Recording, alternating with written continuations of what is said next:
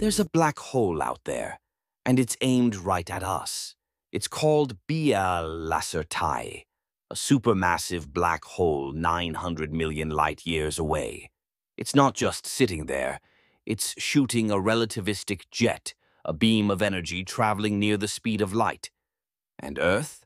We're in the direct line of fire. But don't panic, the distance is too great to harm us, for now.